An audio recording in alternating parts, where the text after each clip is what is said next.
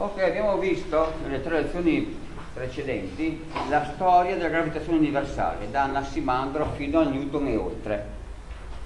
Un passo particolarmente importante è l'interpretazione delle leggi di Keplero.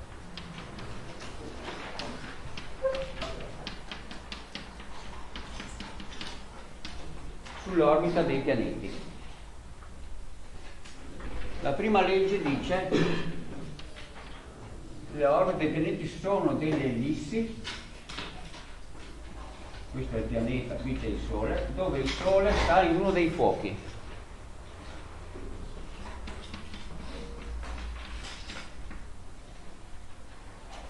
Questo si può in realtà generalizzare dicendo che le traiettorie dei corpi celesti nel sistema solare sono delle coniche possono essere ellissi, possono essere iperboli, possono essere parabole. Tra un attimo vedremo cosa le distingue. E prima legge di Keplero. La seconda, quindi non sono in generale circonferenze. La seconda legge specifica come viene percorsa l'orbita. A seconda di quale parte dell'orbita il pianeta sta percorrendo, la sua velocità è diversa. Più lontano è, più è lento. In particolare, fatemi ridisegnare le liste, a parità di tempo, nel caso della Terra per esempio potrebbero essere giorni, l'area coperta dal raggio che congiunge il Sole e il pianeta è a parità di tempo, ripeto, sempre la stessa. Quindi questo è una specie di triangoloide con la base curva che ha sempre la stessa area. Quindi se l'altezza di questo triangoloide è grande, l'apertura angolare è piccola. Se siamo vicini al Sole, per avere la stessa area anche di più, devo avere un percorso più lungo. Quindi vicino al Sole la velocità è più grande. Prego? Ma in parte sì, in parte no, questo lo vedremo tra più avanti, se è possibile. Ricordatemelo. Terza legge di Keplero. Attenzione, mentre le prime due parlano di caratteristiche della stessa orbita, dell'orbita di ogni singolo pianeta, la terza legge confronta orbite diverse. E dice la cosa seguente, se considero come R la distanza media del pianeta dal Sole e T il periodo dell'orbita, cioè il tempo necessario a completare l'orbita, allora la terza potenza della distanza media è proporzionale alla seconda potenza del periodo dell'orbita, o se preferite il rapporto tra R alla terza e T alla seconda è costante per tutti i pianeti. T T è il periodo dell'orbita, cioè il tempo necessario a completare l'orbita. Da qualunque punto il pianeta parta, il tempo necessario a tornare lì. Come nei mondi circolari, questa volta l'orbita è in generale ellittica. È tutto chiaro? Perfetto. Attenzione alla differenza, ripeto, stessa orbita, orbite diverse. Ok? Queste tre leggi, che sono leggi empiriche, che Plero le ha formulate perché aveva a disposizione una serie di dati astronomici e ha cercato di riassumerle. Cioè, con i dati a disposizione, i pianeti si comportano in questo modo, ma non aveva idea di quale fosse la ragione per cui questo accade l'interpretazione delle leggi di Keplero, pensata da molti, è stata eseguita correttamente e completamente da Newton.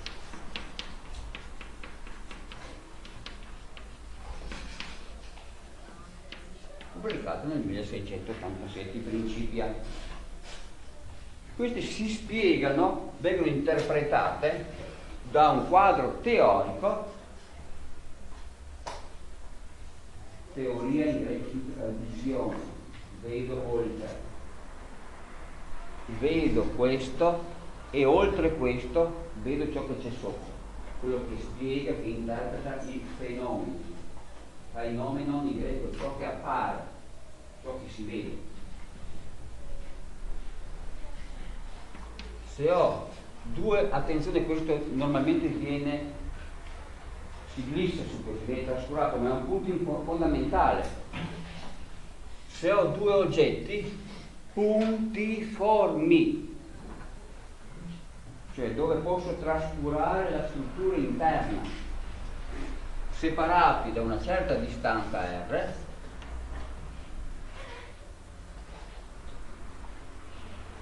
dotati di massa, n grande e n piccolo, questi si attirano con una forza la cui intensità è proporzionale al prodotto delle masse, inversamente proporzionale al quadrato della loro distanza, moltiplicata per una costante G. La costante G mette d'accordo un'unità di misura. La forza in newton, massa in chilogrammi, distanza in metri. Quindi G viene in newton per metro quadro diviso chilogrammo alla seconda. Okay? Inoltre è una forza attrattiva. Per questo l'equazione completa, che dà il carattere vettoriale della forza, vede un segno meno. E vede questo era quel cappuccetto, che è un versore. Se m è il sole, la forza che agisce su m piccolo è diretta in modo tale da far diminuire R. Questo è il significato fisico del meno. R piccolo è il versore unitario nel verso della congiungente di due punti. Attenzione, questo vale se parliamo di oggetti puntiformi se ho due oggetti estesi, ci sono ad esempio le lune di Marte, Phobos e Deimos, hanno forme stranissime. Ora, calcolare la forza di attrazione gravitazionale tra due oggetti di forma complessa non è per niente semplice, perché non posso applicare questa formula alle due masse intere ma devo fare una somma di ogni particella del primo corpo e ogni particella del secondo. La cosa diventa semplice se e solo se, eh, dov'è lo straccio, chiedo scusa, grazie, i due oggetti hanno una particolari simmetrie.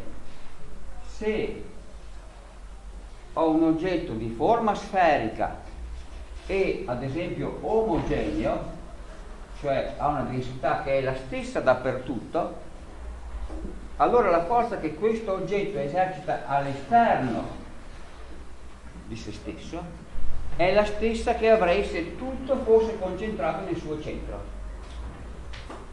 Questo è un teorema dimostrato da Newton che gli ha portato via anche molto tempo, non è un teorema facile di per dimostrarlo serve la matematica che farete l'anno prossimo, quindi adesso ve do come anticipazione.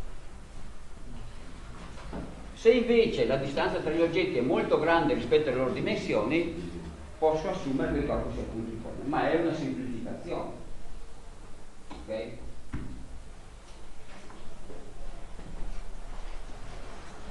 Come si arriva a questo? Beh, abbiamo visto la volta scorsa che se metto insieme la terza legge di Kepler e la formula, che, la relazione che mi dà l'accelerazione centripeta nel caso di moto circolare, arrivo a questa espressione. Ok? La ripetiamo. Ditemi solo se posso cancellare la lavagna se è tutto chiaro fin qua. Perfetto. Io dimentico sempre, eccolo qua.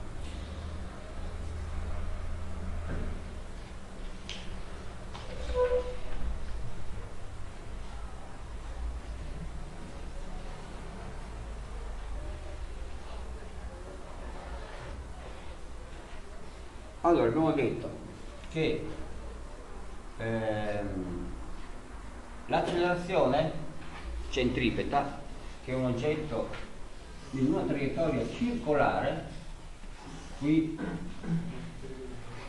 possiamo fare la derivazione algebrica solo in caso semplice, quelle di orbite circolari, più n piccolo più n grande, vale v alla seconda diviso r la velocità tangenziale o orbitale, se preferite, diviso il raggio della circonferenza. Okay? Quindi la forza che agisce su m piccolo, dal secondo principio della dinamica, massa per accelerazione vale m v al secondo diviso r. Ma nel caso di moto circolare v è 2π r diviso t il periodo dell'orbita. Questo non dovrebbe giungere, giungere di nuovo. Quindi F posso scriverlo come m fratto r per 4π al quadrato r alla seconda diviso t alla seconda. Semplicemente il quadrato di questo e divido per r. Ok? Tutto chiaro? Perfetto ma abbiamo appena visto, l'ho cancellato prima ahimè, eh, che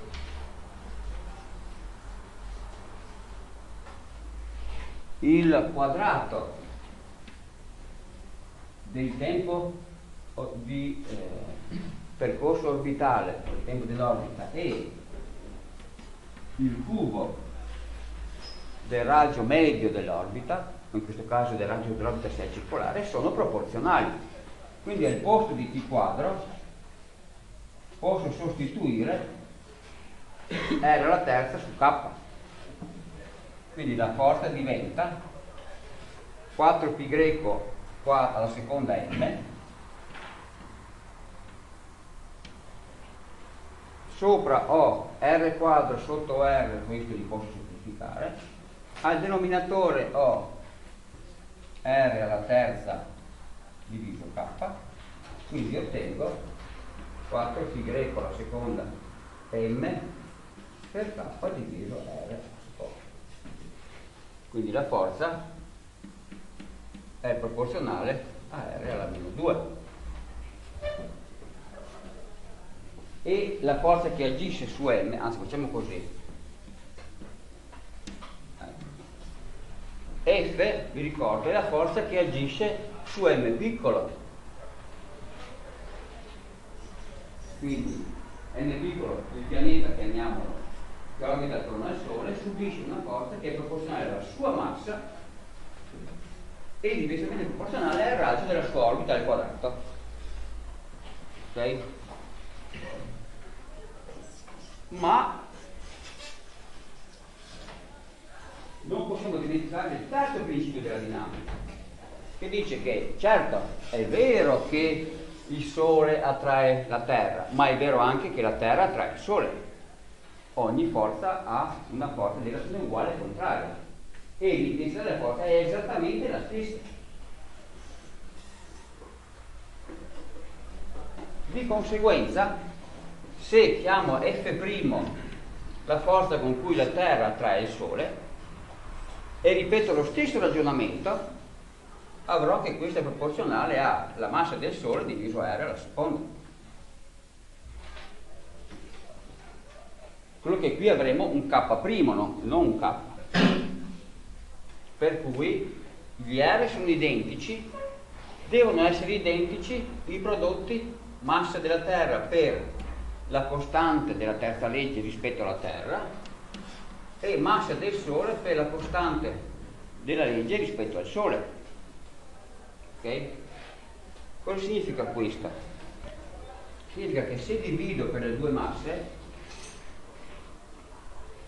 quindi ho k fratto m grande e k' fratto m piccolo, qui ho tutte quantità relative al Sole, qui tutte quantità relative alla Terra, che hanno lo stesso valore.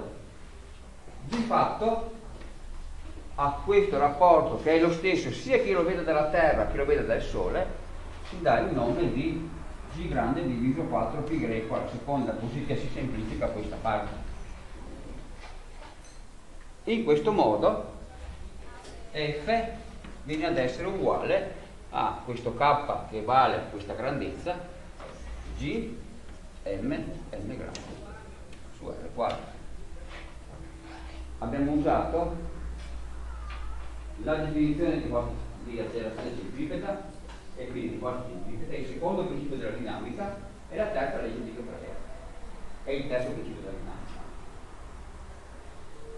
Ok?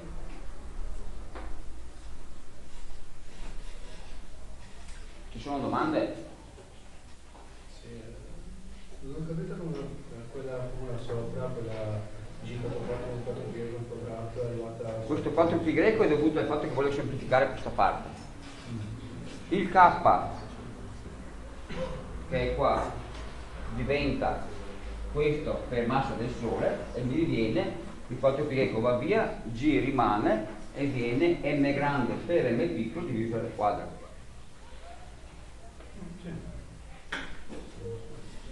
fare le semplificazioni opportune. Ok? La prima conseguenza importante di questo, ditemi dove posso cancellare, qua sopra. Okay.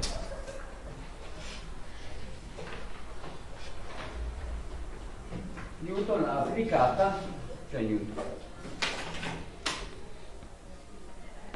senza conoscere i valori di G, ma tenendo solo conto del fatto che la forza è inversamente proporzionale al quadro della distanza, posso confrontare l'accelerazione gravitazionale sulle superfici della Terra,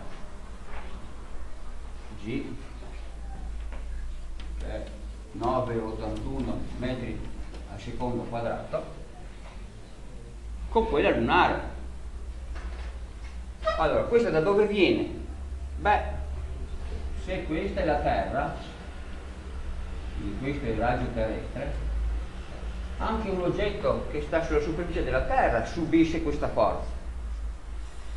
E se metto a confronto la seconda legge della dinamica, massa di questo sassolino per la sua accelerazione, e la forza di gravitazione universale,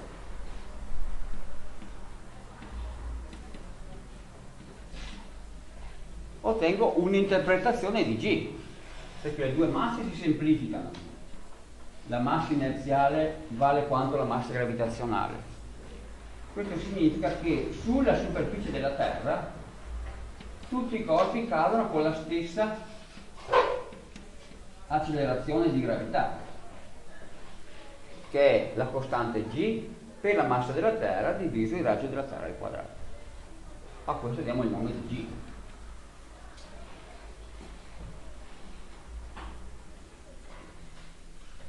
se anziché usare il raggio della Terra uso la distanza Terra-Luna, che è circa 380.000 km, trovo esattamente l'accelerazione a cui è sottoposta la Luna, che posso calcolare anche con la velocità orbitale lunare diviso il raggio dell'orbita lunare. Ottengo lo stesso dato. Osserviamo il visto anche nelle diapositive.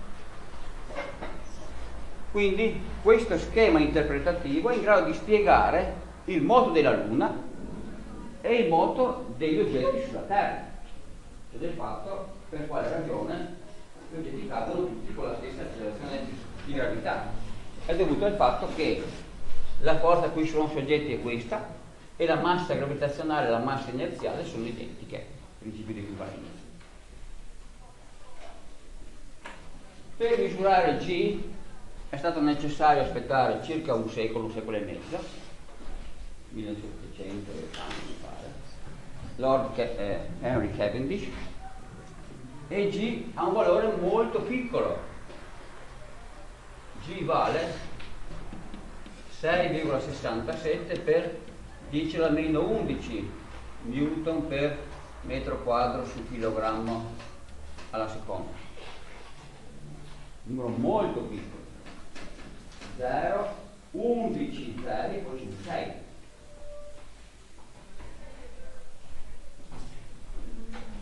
L'importanza della conoscenza di questo numero è enorme perché? perché mi permette da qua di misurare la massa della Terra. Adesso lo facciamo. Il valore di G con non ve l'avevo fatto vedere con la bilancia di torsione immagina di avere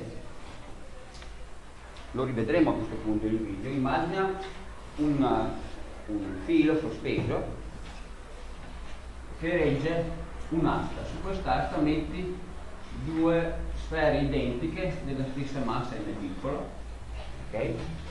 e misuri precisamente la posizione di questo filo. In realtà questo filo ha in mezzo uno specchietto. Su questo specchietto viene mandato un raggio di luce che viene riflesso in una certa posizione su uno schermo.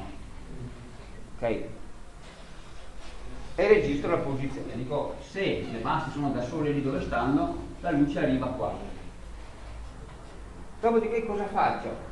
Avvicino due altre masse, una di qua e una di qua, identiche, ma avvicinandole queste due loro si attraggono, per cui l'asta viene ruotata. E quindi il raggio di luce non è più riflesso qua, ma un pochino più in là da questa ampiezza riesco a stabilire quant'è la forza tra i due oggetti. Se misuro F, M lo conosco, M grande lo conosco, R la misuro perché basta che misuro questa distanza, posso trovare G. Si chiama bilancia di torsione, perché G lo si torce. C'è un bel filmato, andiamo a vedere. Ok?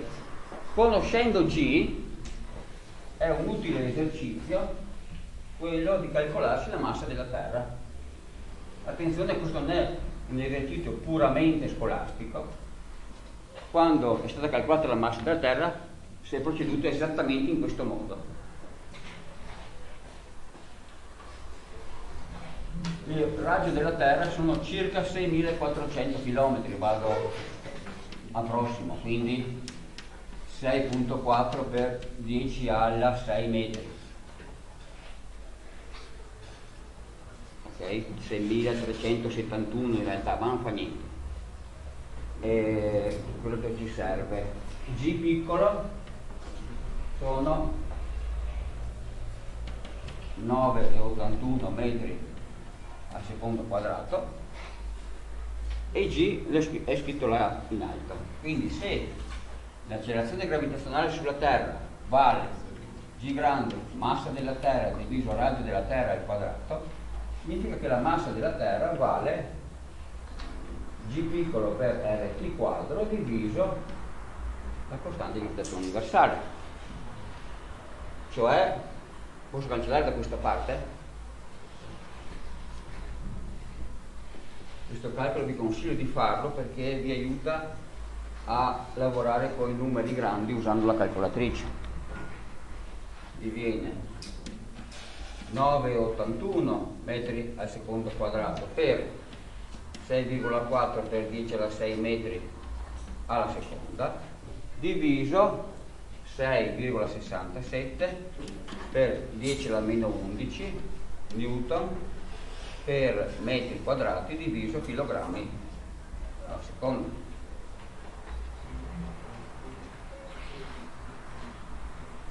Sono domande?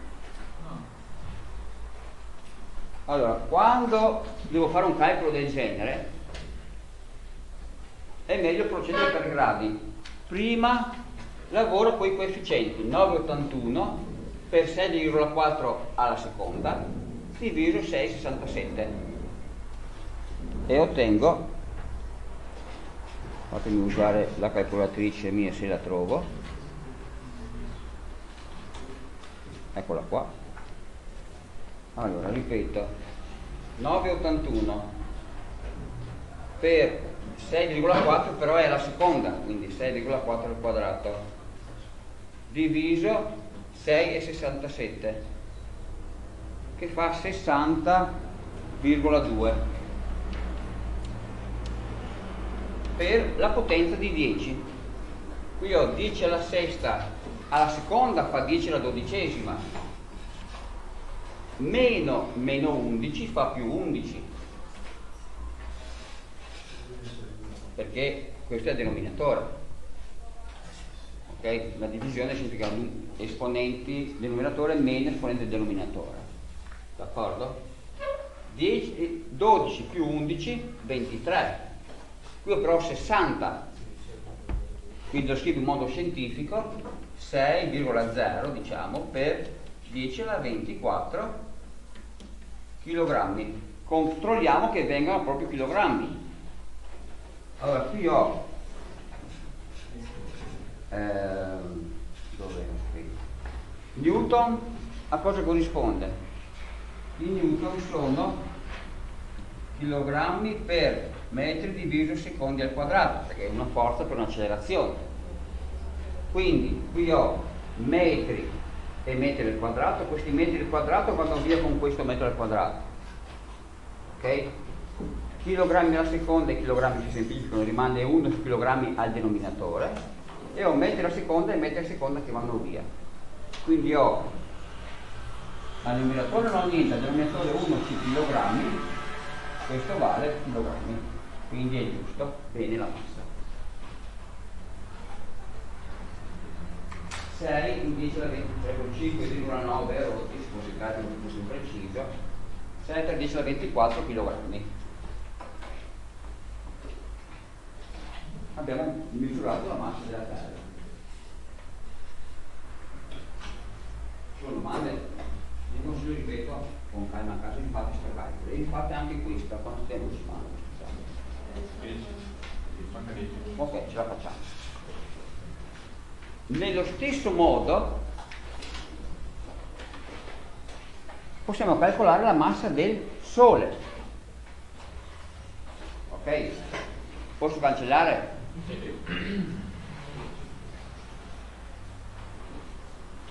Per calcolare la massa del Sole utilizziamo i dati orbitali della Terra. Prego? No, certo che no. Non abbiamo, non abbiamo il G del Sole alla nostra distanza, però abbiamo che cosa? Abbiamo, qui mettiamo il Sole, qui mettiamo la Terra, il raggio medio dell'orbita Terra-Sole è 150 milioni di chilometri. Quindi circa 1,5 10 alla 6 10 alla 3 10 alla 9 poi altri 2 10 alla 11 1,5 10 alla 11 metri. Ok l'anno la durata dell'orbita 365 giorni, giorni alla sigla D, cioè 365 per 24 per 3600 secondi in un'ora, viene circa 3,1 mi pare in 10 alla 7 secondi.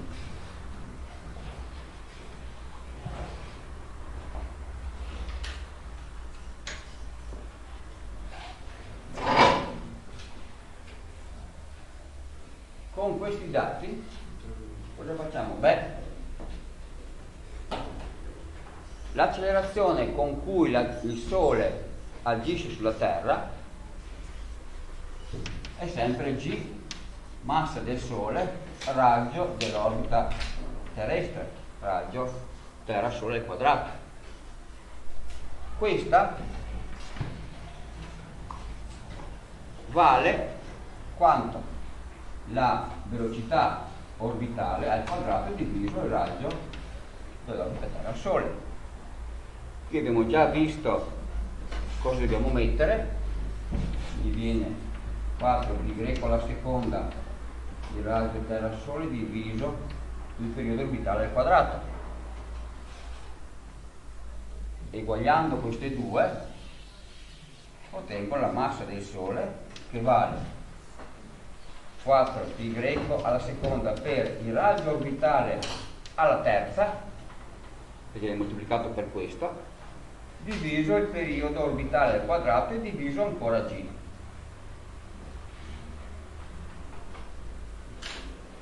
Ok? Fate questo calcolo per esercizio.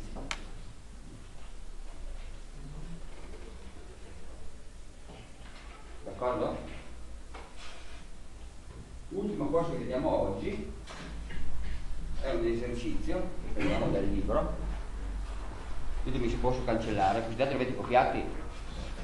Perfetto.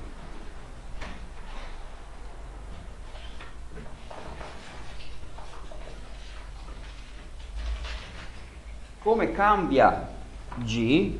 Abbiamo visto che la sezione di gravità, qui c'è la Terra,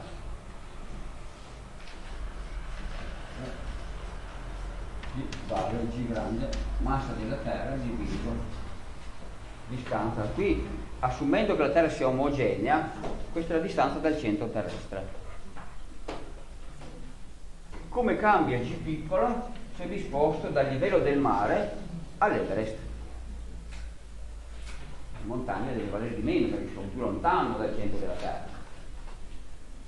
Mi sembra che non so più in quale piano era, ma le Olimpiadi fatta Città del Messico, Città del Messico è una città su un altro piano, quindi più in alto del, del, livello del mare, i record olimpionici non furono omologati perché il G è più piccolo. Salto in alto non vale quanto un salto in alto fatto a livello del mare, perché a livello del mare l'atleta deve spendere un'energia maggiore, perché il G è più grande.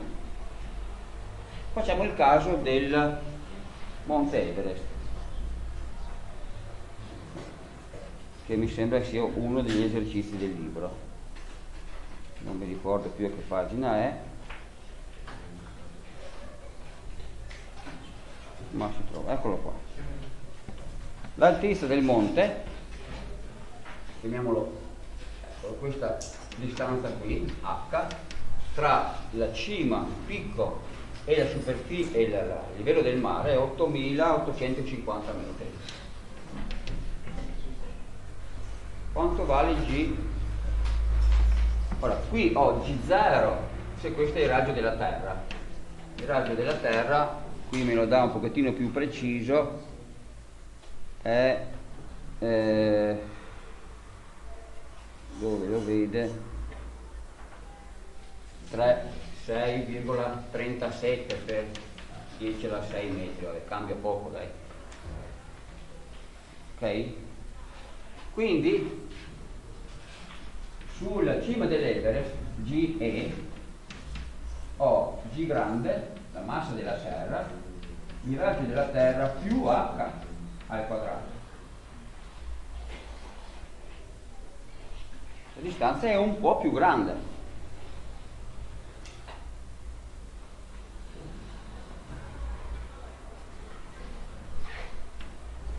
Ok? Quindi sommo questi chilometri a questi, quindi qui ho circa 8.850 per 10 alla 3 metri. Quindi intervengo sulla terza decimale. Grazie. Ok? Quando questo succede, siccome di solito se ho numeri molto piccoli la calcolatrice mi dice ciao ciao, è più semplice operare in questo modo. Qui fattorizzo RG, RT, cioè lo, lo, tiro fuori dall'espressione, quindi metto un RT quadro qua, qui ho 1, qui ho H su RT. Questa parte vale proprio 0, identica a quella di prima. In generale, se ho questo ci servirà anche più avanti, anzi, e lo vedrete meglio nella matematica dell'anno prossimo. Se ho un numero x che il modulo è molto più piccolo di 1, questa scrittura sono sicuro non avete dubbi a interpretarla, allora le potenze del tipo 1 più x tutto la n, la potenza ennesima di questo binomio, posso approssimarla a 1 più n volte x. Okay. Voglio finire questa parte. Quindi nel nostro caso questa qui, questa parte 1 su 1 più h su rt alla seconda posso pensarla come 1 più h su rt alla meno 2. Siccome questo numero è decisamente piccolo, dell'ordine del millesimo, questo posso anche scriverla come 1, l'esponente è meno 2, ho meno 2 volte h su rt. Quindi la differenza tra G0 e GE è G0 volte questa parte. E lì la calcolatrice arriva a calcolare. Ok? Fate il calcolo e ditemi cosa avete ottenuto. Per oggi ci fermiamo qua. Thank you.